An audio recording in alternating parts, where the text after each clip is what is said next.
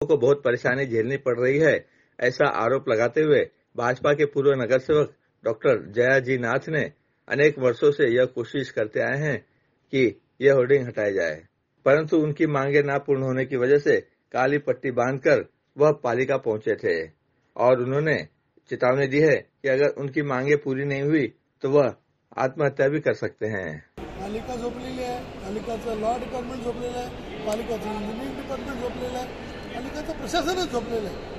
कारण जर तुम्हाला आम्ही जे बोलतो तर शासनापर्यंत पोचवून मांडून मंजूर करून घेता येत नसेल तुम्ही कुठल्या गोष्टीला जर घाबरत असाल तर झोपलेच म्हणायचं आहे. झोपलं तर सॉंग घेतलं म्हणायला लागेल. कारण एवढ्या लोकांचा प्रश्न आहे गेल्या अनेक रखाने रखाने भरून गेल्या पाच वर्षापासून सगळ्या पेपरला बातम्या येतात. मी इलेक्ट्रिक्स मीडिया दाखवता माझ्या अनेक इंटरव्ह्यू दाखल्या दाखवला होल्डिंग पॉईंटची शूटिंग करून दाखवल्या तर प्रशासनाला लक्ष देत नाही. त्यांना काय दिसत दिसत नाही? लोकांचे जीव घेत आहेत का? आज त्या ठिकाणी एवढं होल्डिंग पॉईंट झाले होल्डिंग पॉईंटचं पर्पज काय?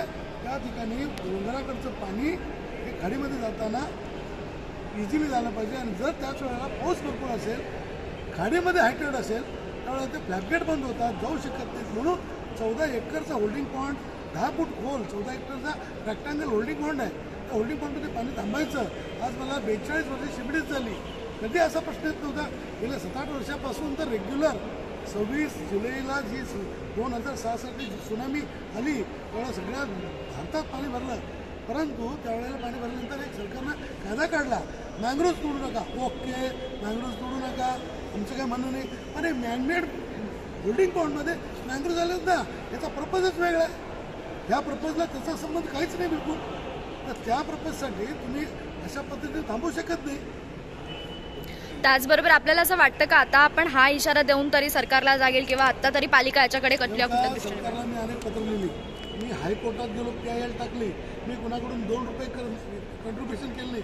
माझं उत्तरदायित्व मी पाच वेळा निवडून दिलं. मी माझे पाच लाख रुपये लावले. कोर्ट म्हणाले तुम्ही जरा एवढी दुकानात पैसे घ्या. म्हणजे एक रुपया घेणार नाही कोणाकडून.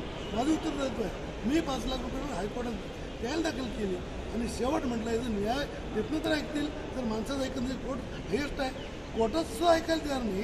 कोर्टाने ताबडतोब याचा अभ्यास करून पा पाठपुरावा करा म्हटलं एम सी जेडे मेला एम सी जेडे मेला होल्डिंग पॉईंटसाठी फॉरेस्ट डिपार्टमेंट सरिमन इन्स्टिट्यूट फॉरेस्ट डिपार्टमेंट त्यांची परमिशन घेऊन दिले.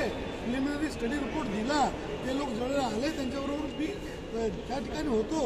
होल्डिंग पॉईंटवर गेलो त्यांना समजवलं.